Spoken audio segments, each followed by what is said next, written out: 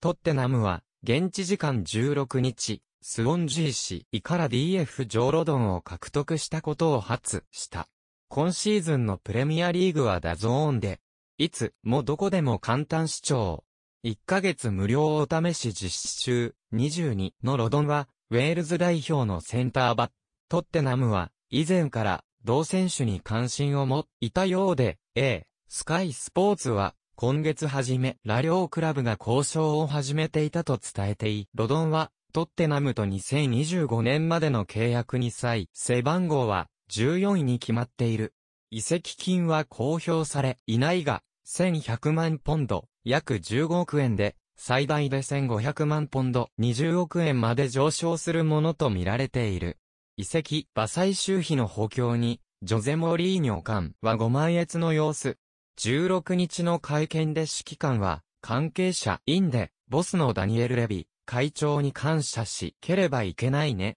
彼は改めて天才である子を証明したと会長の手腕を称え、あとは、私とのスタッフ、そして選手たちが素晴らしいし、ズンを送ることだとコメント。今度は自分たの番だと語った。りょう。